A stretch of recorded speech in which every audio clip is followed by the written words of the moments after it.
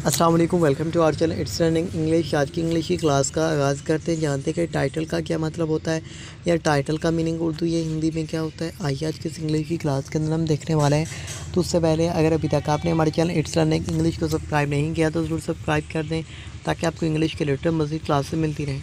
Title title world का spelling T I T L E title होता है। Title का क्या मतलब होता है?